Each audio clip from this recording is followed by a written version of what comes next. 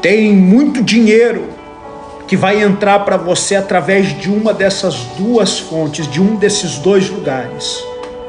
Só que o Senhor te ordena a não comentar, não falar e não revelar nem para família nem para amigos, muito menos para conhecidos.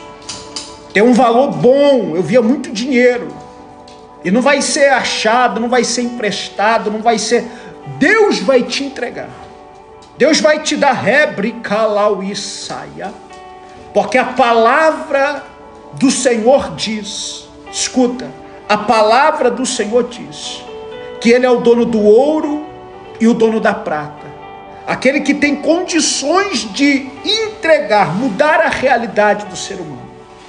E quando você chegou nessa revelação, Deus me mostrou uma abundância financeira grande. Quando você chegou nessa revelação, eu quero que você coloque o teu nome aqui para o final desse vídeo eu estar orando por você. No final desse vídeo está clamando a Deus pela tua vida, pela tua casa, pela tua família e pelos teus. Quero que você clica muito no coraçãozinho para fortalecer, um presentinho, uma estrelinha para me impulsionar. Porque tem uma prosperidade de Deus vinda do trono da glória Assim como a arca da aliança representa a presença máxima de Deus, a prosperidade estará sobre ela. Assim como a arca ia e ia para a casa de Obed-edom e ali, ali a bênção, a prosperidade, a riqueza, a alegria, o Senhor reinava, na sua vida vai ser assim. Porque eu vejo Deus te dando estratégia. Deus te dando estratégias financeiras de do dia para a noite começar a faturar. E a primeira vai ser através do celular que está na tua mão. A primeira vai ser através do celular que está na tua mão. Deus vai destravar. Deus vai desprender.